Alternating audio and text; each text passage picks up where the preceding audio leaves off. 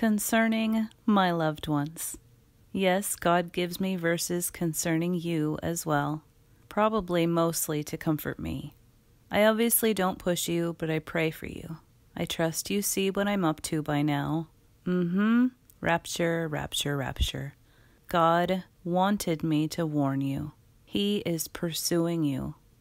Lord, please, I ask, spare my father and my mother, and my brothers and my sisters, with all who belong to them, and deliver their lives from death. Joshua 2:13. I ask him that you would have time to call out to him. I pray that you would come to know him as the truth.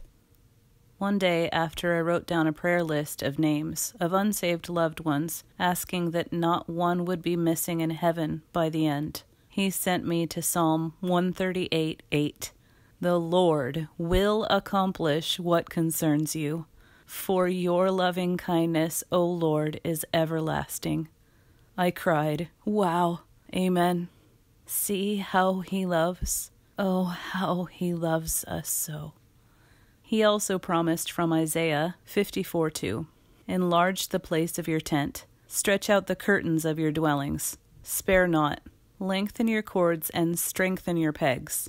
Amen. This was to show me to prepare and make space for you, to make more room in my tent. I take it as a promise of you coming to him. Oh, Amen. And from Isaiah 44 1 through 8. Now listen, O Jacob, my servant.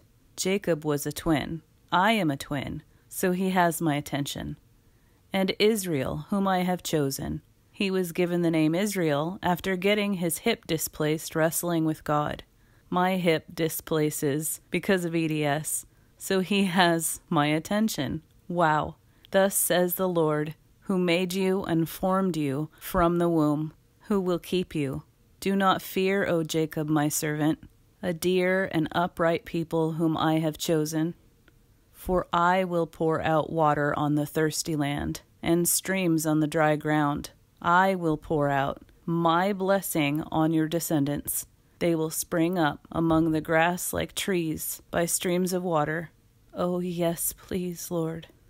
This one will say, I am the Lord's, and another will write on his hand, belonging to the Lord, and will name Israel's name with honor. Thus says the Lord, the King of Israel, his Redeemer, the Lord of hosts I am the first and I am the last. There is no God besides me. Who is like me? Let him proclaim and declare it. Yes, let him recount it to me in order, from the time that I established the ancient nation and let them declare to them the things that are coming and the events that are going to take place. Do not tremble, and do not be afraid. Have I not long since announced it to you and declared it? You are my witnesses. Is there any God besides me? Or is there any other rock?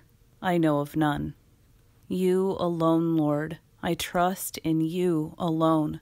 I know what you have promised to me will be done. I will recount to you in order the list of names I have made, and I declare to them the things that are coming. I am your maidservant, your loving daughter, your witness. Thank you for wrestling with me and choosing me. There is none beside you. You are the solid rock in which I stand. Thank you for the work you are currently doing, and thank you ahead of time for bringing my loved ones to yourself. Amen.